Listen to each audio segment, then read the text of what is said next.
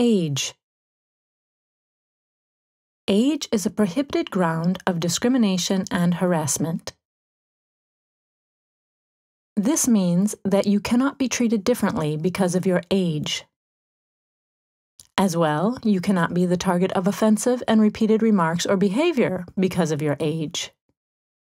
These situations are contrary to the Charter of Human Rights and Freedoms.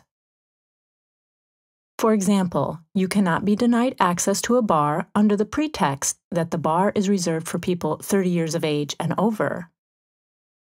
However, it should be noted that limiting certain activities to people 18 years of age and over is not discriminatory. For example, voting and drinking alcohol.